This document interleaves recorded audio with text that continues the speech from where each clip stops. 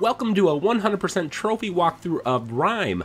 Now I'm going to show you the location of all 44 collectibles. I'm going to show you all the miscellaneous trophies and locations and things you need to do. Following this guide will get you the platinum in a single playthrough. I'm not going to show you any of the major puzzles or anything like that. So this is basically going to be spoiler free. There might be some minor spoilers. But as soon as we begin, you want to turn around, and now we're just going to head down this path here, follow the beach, and we'll find ourselves a little cave system that we can climb up.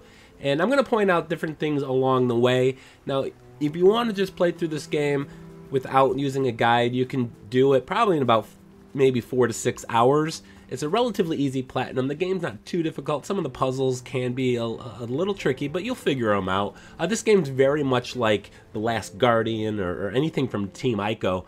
Uh, and very familiar to you if you've played those games. A lot of puzzles, that you need to do. And the art style, of course, is very similar. Now, real quick here, there's a jar. We want to break the jar because you have to uh, destroy a whole bunch of jars for the Jars in the Sand trophy. Uh, I'm not sure exactly how many there are, but uh, we're going to destroy jars along the way. But I'm not going to show you all of the jar locations. A lot of them will be in your uh, path, so it won't be an issue. And of course, we missed a jump. Now our first collectible is going to be up here. So when you travel backwards to the beach, you come up this way, and we're going to find our first lullaby. The lullabies are shells, and we're going to blow into the shells, and it, it does a little lullaby. So we're just going to keep following the path over here. This is completely off the beaten path. A lot of these locations are. So if you're just going to mainline the story, uh, it's not going to take you that long. You don't have to go to all these different places. But our first collectible is way up here we're going to interact with this. Uh, we have to pick it up with the uh, square button. And that'll be our first lullaby. I'm having difficulty here because I didn't know what buttons to push. So there we go. Now while we're up here, we're going to actually get another trophy as well.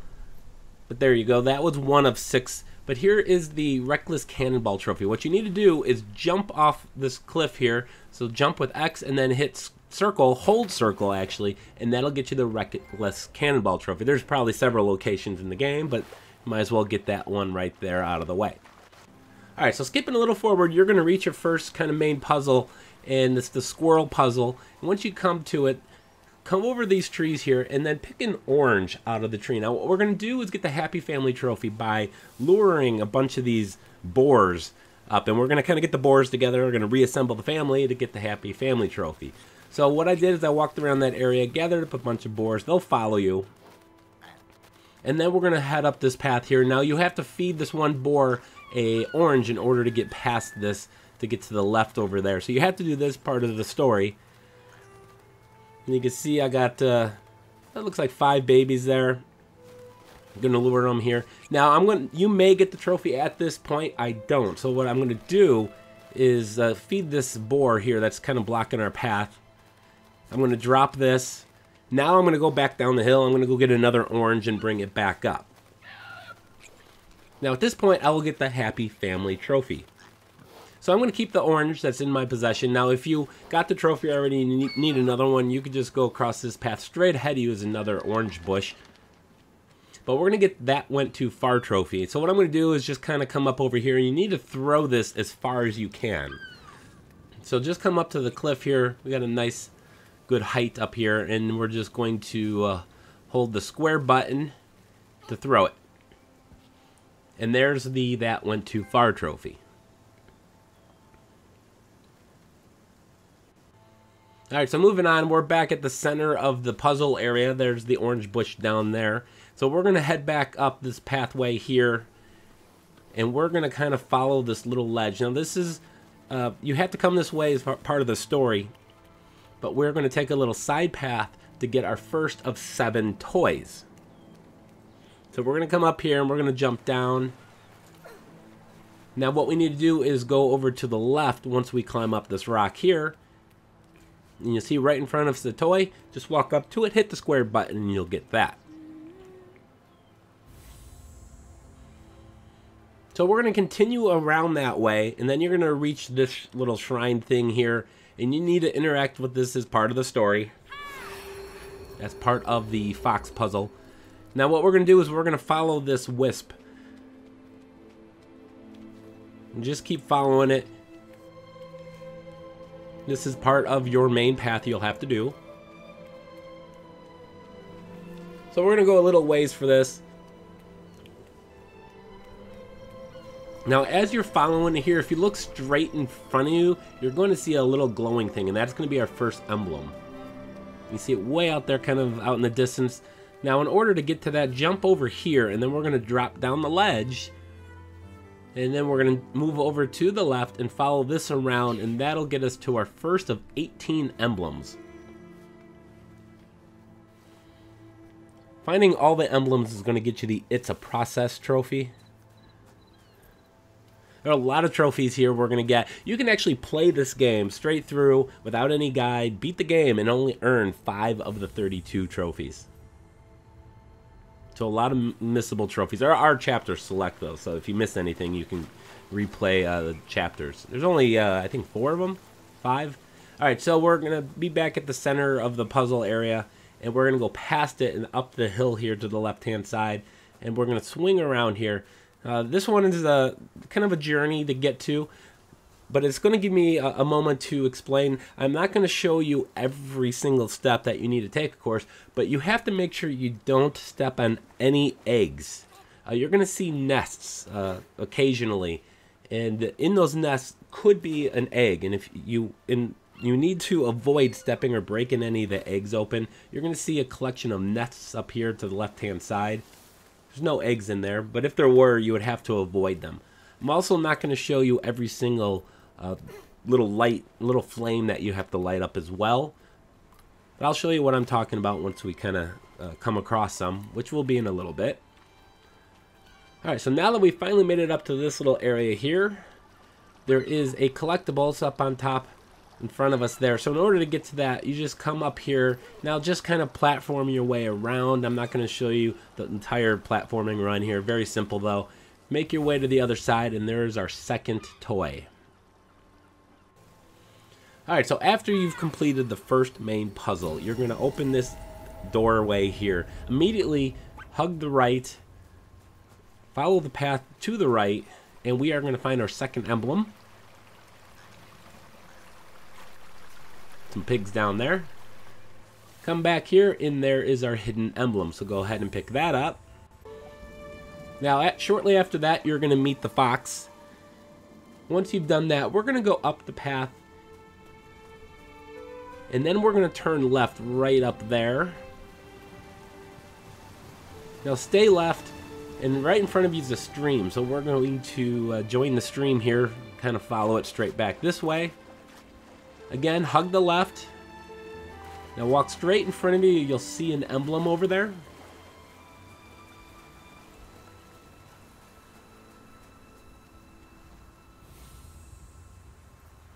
So with that emblem in, in our hands, we're going to open up this next gate. Now once we've done this, we're going to find our third toy, and it's going to be to the right. There's, it's going to, the path is going to be blocked. So in order to get into there, to gain access, go over to the orange trees here.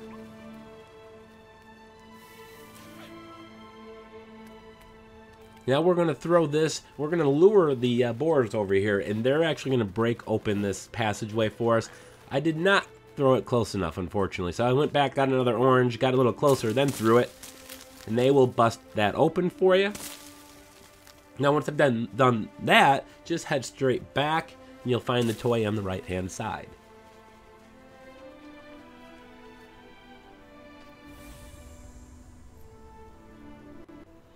Okay, so from there, we're going to head over here and we're going to see a couple flames. You're going to see a bunch of these throughout the game. You have to ignite, light up. I don't know, again, how many, but there are going to be many of them in this chapter and future chapters. In fact, you can get the trophy for this uh, before you even reach the end of this chapter. So anytime you see these little flames, you have to walk up to it and scream, and that's how you interact with a lot of things. You you're using your you're yelling at things, which is how I like to get things done by yelling at them.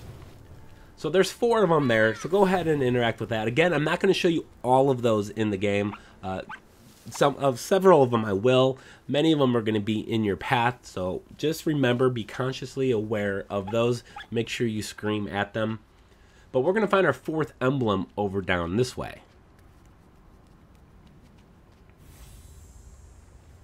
So once we pick the, that up, we're going to head back the way we just came. You can see the flames over there to the right-hand side. You'll see an, uh, an entranceway straight in front of us. Uh, just to the left of that is going to be a path over here. And we're going to go down. There's actually going to be a few things we're going to do down here. The first thing we're going to do is find our second outfit. Now you're saying, Brian, we haven't found any outfits yet. Uh, yeah, and that's true. But when you look at your collectible guide, and there's uh, some flame here for you, make sure you yell at those. Uh, when you look at the collectible menu and the uh, extras option in the menu, it shows you already have one of six, of course, because you start with one. So technically, this is the first one we're picking up. It's going to be the second one when you look at the menu. So we're going to take this path down here. Once you get to the split, take the right. And then we're going to see a little ramp in front of us. So, of course, we're going to uh, run up the ramp, jump over. And this will lead us to the outfit.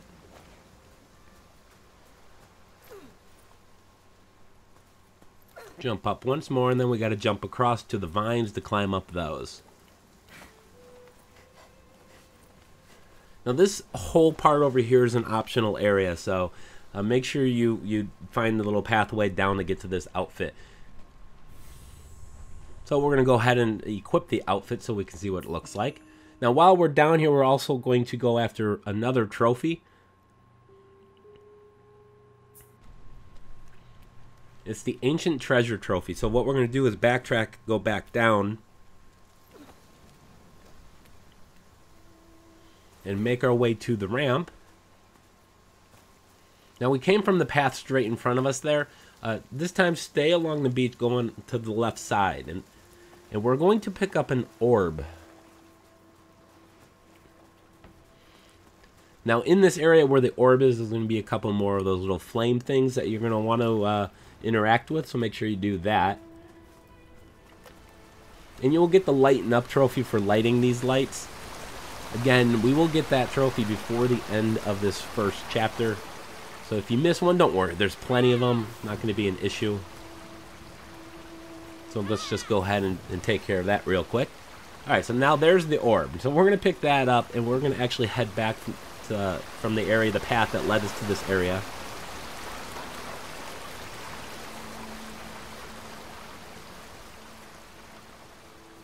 So we're going to keep going over here. You're going to see a little steps to the left-hand side. That's what we want to, what we're looking for here. And ultimately what we're doing is we're going to wake up the Lost Sentinel. And that's where we're going to get the Ancient Treasure Trophy. Of course, we need this er orb in order to do that. So here are the little steps. We're back in the cave system. You would go left right here in order to get back to where you need to be. Instead, we're going to take the right path here at the split and then follow it along this way. So as you can see, we're totally running way out of the way from where we need to go, which is why most people will miss most of the trophies. Again, if this is your first time playing through, it might be good to do it without a guide, then come back and, and use the guide. Or if you just want the quick and easy platinum, here it is. So there's the uh, Ancient Treasure Trophy. Just drop that orb and it'll get you the trophy. All right, so now we're going to be here. You got that little box that we pushed up against that side over there. So we're going to backtrack a little bit, drop down here. And then we're going to go climb back up. And then we're going to interact with this little statue here in just a second. So we're going to yell at it by hitting the triangle button. It'll open up this passageway so you can then pull the block through.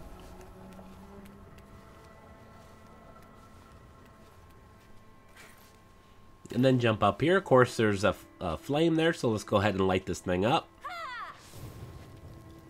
Now from there, jump up to the vines, climb up the vines, and we'll find the shell, which again is the lullabies. This is number two of six.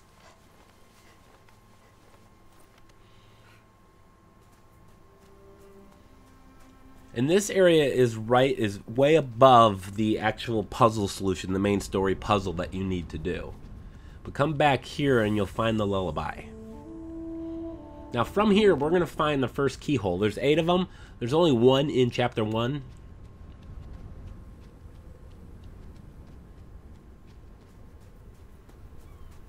So in order to get to this one, just follow the stairs up here, the white stairs. They'll be right in front of us, and you can see the main puzzles down there to our left-hand side. But there's the keyhole. We need to look through eight of those.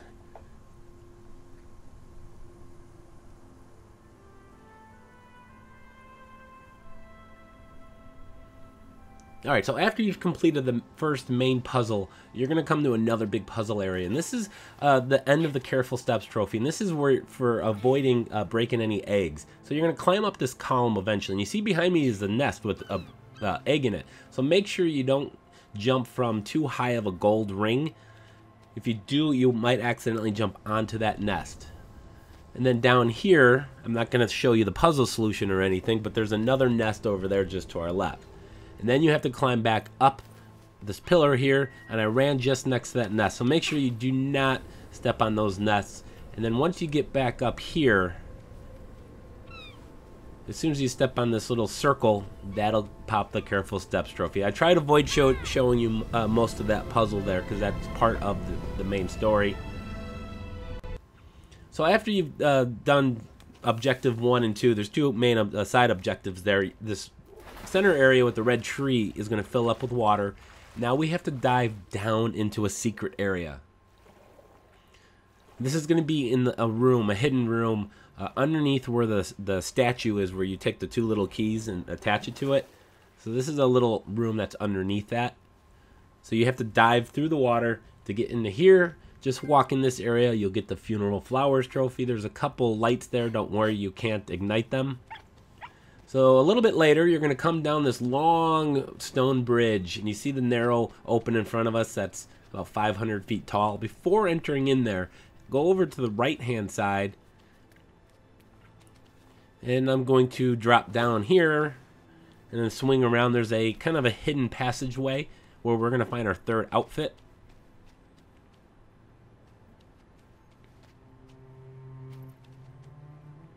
As soon as I locate it, it's Right. Oh, there it is. Go in here, go to the left, and this will take you directly to the third outfit.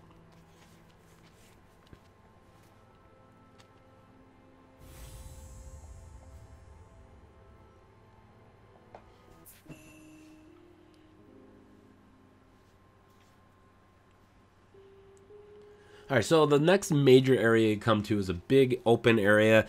Uh, it circles around and there's a lot of pots here. So I just want to spend just a moment. I mentioned earlier, uh, the, right at the top of this video, that you have to break the jars. Uh, that'll get you the jars in the sand trophy. So your first one is right there as you enter the area. Uh, so break that open. There's a, a light there you can ignite as well. And then you'll just want to keep circling around this entire thing. Don't do anything else until you've made sure you've broken open all the pots the next one here, there's a couple lights in here. So go ahead and yell at those.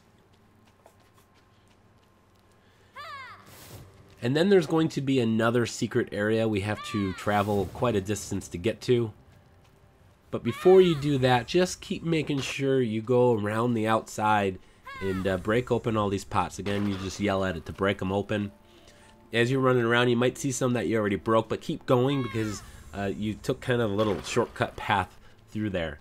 All right, so eventually, once you've made sure you broke open all the pots, you're going to find this little stone thing here that you can climb up on the left-hand side and then climb, uh, run up here and jump over to the center of the big column up high here. And now we're going to follow this path here to our fifth emblem. This area is completely far away from where uh, we need to go. And where you're trying to locate as far as progressing the story is a, a big opening. You'll see some wind going in there, and that'll take you to the labyrinth. So make sure you do this first. Now once you got to that section, you had to jump over to the left and jump back to the right. And then you'll find this little area you can jump back across to the outside. Little crack here we can walk into. In addition to the fifth emblem, there's going to be a bunch of lights in here as well. See some flames, so go ahead and yell at all of these. Good number of them here. There's one over here to the right. I think I just walked past it.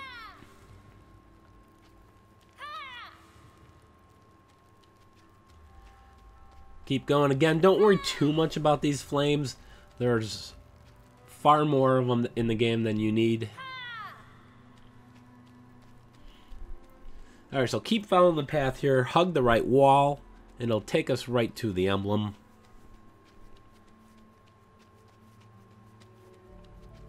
Once you've picked up the emblem, go back to the uh, the main area where you circled around and keep circling around until you find this opening here. You'll see the wind going in there. Now, this is where we're going to do a few different things. There's two trophies, the Path of Light trophy and Dark and Quiet. The Path of Light requires you to turn on all the light. Now, well, first, speaking of lights, let's light these little flames here, yell at them. Now, these little light things, you just have to walk past them and it'll automatically uh, turn on and there's a I don't know maybe 20 or so, 15 or so uh, in this area. So you want to make sure you turn those all on. Now there's also the Dark and Quiet trophy. The Dark and Quiet trophy requires you to complete the labyrinth without making a sound. That simply means do this entire area without hitting the triangle button. That's it.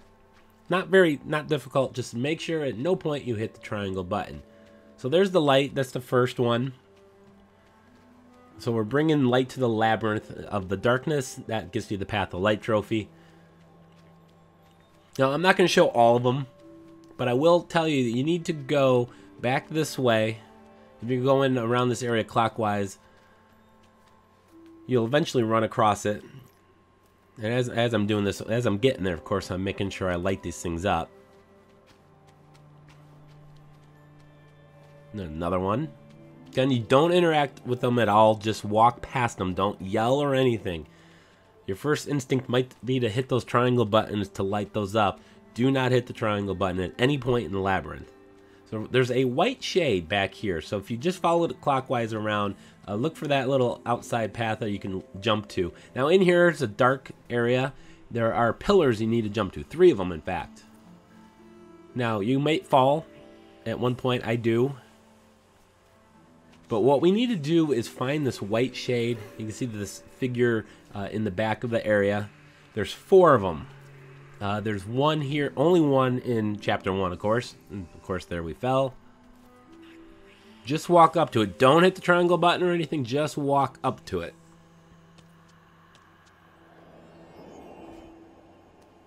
Alright, so now, once you've done that, jump back, get back to the labyrinth. Just keep circling this area until the Path of Light trophy pops. Don't go to the center area until you get the trophy. If you miss it, just keep looking around. They're evenly spaced out. There's the Path of Light trophy. I did not show my entire progression in this labyrinth to pop that trophy, but uh, you get the gist. Now the Dark and Quiet trophy, as long as you never hit the triangle button at any point during the labyrinth, there you go. Now one last trophy I just want to mention, the Lighten Up trophy. That's for igniting these lights. So light these little flames. And at this point, that is my last one. I don't have to worry about uh, yelling at any more flames throughout the entire game. If you missed it, don't worry, there's plenty more. Thanks for watching, guys. Subscribe. We'll see you soon.